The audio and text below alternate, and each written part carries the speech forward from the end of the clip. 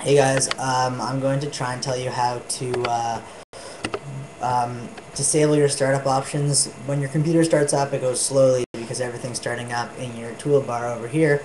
Um, so I'm going to try and say how you can disable this, make your computer uh, start faster, run faster.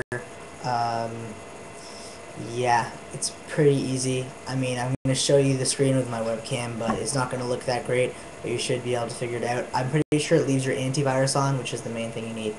Okay, see if you can see this. Alright, you go to start. This is how to disable your startup things. Those are the stuff over here that you can't really see. There we go. Just gonna move back. Okay, go to start. You go to run and you get this little run window. In this window, you type in msconfig, M-S-C-O-N-F-I-G. I already have it. So msconfig, okay.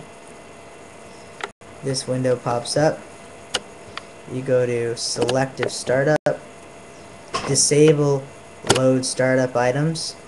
That means so now none of your startup items are going to open. Press OK and then you must restart your computer for some of the changes made by system configuration to take effect. Now exit without restart after put this video. That's how you do it. Uh, makes your computer start faster. I seems that it runs faster. I do it when I'm making videos. My computer's less likely to lag. Peace. Hope this helps. Check out my band, itunes.com slash trick of disaster. Even if you just buy one song, it would be a big help.